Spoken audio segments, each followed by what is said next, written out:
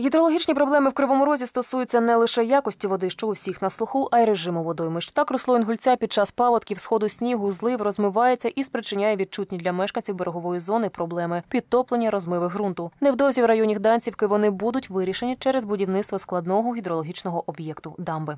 Она решает два вопроса. Первый э, – гидрологическое состояние речки абсолютно решает по э, паводкам и по м, промывке речки. И второе, мы хотим повысить на полметра э, в центральногородском районе уровень речки Ингулец для того, чтобы можно было ее прочистить.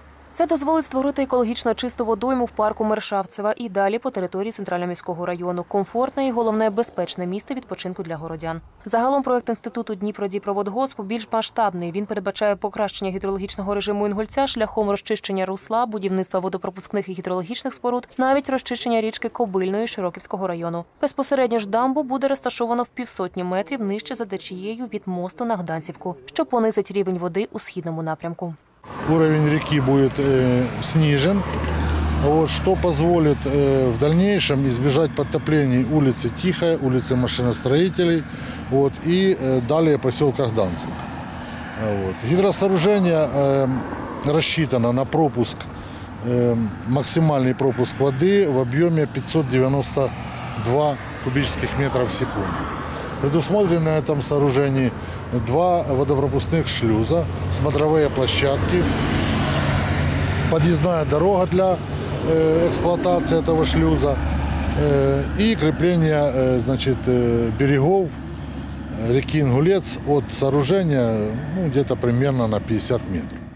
Проектна документація дамби знаходиться на стадії проект. Зараз інститут Дніпродіпроводгосп займається розробкою робочої документації з більшою деталізацією креслень та формуванням кошторисів. Ці роботи планують завершити протягом тижня. Додатково в ході наради в проект було внесено корективи.